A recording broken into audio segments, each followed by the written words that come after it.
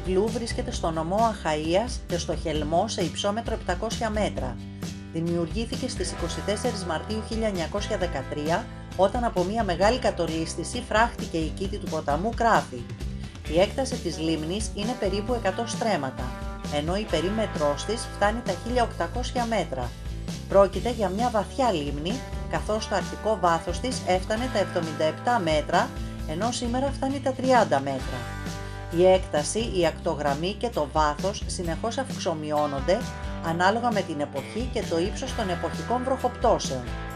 Γύρω από τη λίμνη θα συναντήσουμε δάση με μαυρόπευκα, έλατα και χαλέπιο πεύκι, ενώ στην παραλία ιτιές, πλατάνια, πουρνάρια και λεύκες. Η περιοχή επίσης είναι πλούσια σε βλάστηση και ο επισκέπτης θα αντικρίσει γνωστά αλλά και σπάνια φυτά κοντά στη λίμνη και κάτω από τα δέντρα.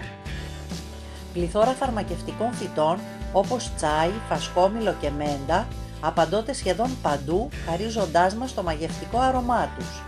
Εκτός από την πλούσια χλωρίδα της, η λίμνη και η γύρω περιοχή θυμίζεται για την πανίδα και ορνηθοπανίδα της, διότι είναι σημαντικός προορισμός στάθμευσης. Αν ο επισκέπτης είναι τυχερός κατά τη διαμονή του, υπάρχει μεγάλη περίπτωση να συναντήσει μερικά από τα παρακάτω είδη που ζουν στη λίμνη και στο δάσος. Από τα 84 που υπάρχουν συνολικά, θα αναφερθούμε στα πιο γνωστά. Νυχτοκόρακες, κορμοράνι, φιδαετή, γερακίνες, βραχοκυρκίνεζα, μπούφι, κουκουβάγες, ελατοπαπαδίτσες, κίσες, καρδερίνες, σαλαμάνδρες, ποταμοχελώνες, κρασπεδωτές χελώνες, νερόφιδα, δεδρογαλιές και οχές.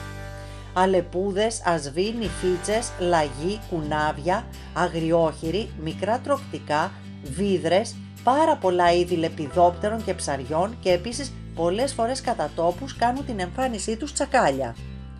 Στη νότια πλευρά της λίμνης θα συναντήσουμε άπειρους μαύρους ασβεστόλιθους και το ιζηματογενές πέτρωμα δολομίτη. Αξίζει να επισκεφτεί κανείς τη λίμνη και τη γύρω περιοχή, αρκεί να είναι καλά ντυμένος διότι το χειμώνα το κρύο είναι τσουχτερό και έχει και πάρα πολύ υγρασία.